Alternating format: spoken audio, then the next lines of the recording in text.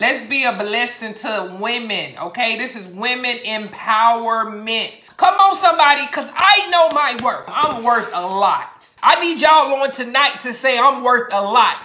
I'm worth more than silver and gold. I am God's daughter and I am the child of a king. That's the part that y'all fail to realize. You are a child of a king. Your. Like it ain't no limit to what you are worth because you are worth uh, so much. How you used to treat me, you not gonna treat me like that no more. How you used to talk to me, you ain't gonna talk to me like that no more. Some of y'all okay with, with things that people do to you. It's not okay. If it makes you feel some type of way, it is not okay. Stop dealing with things that you don't have to put up with. See, I had to learn my worth.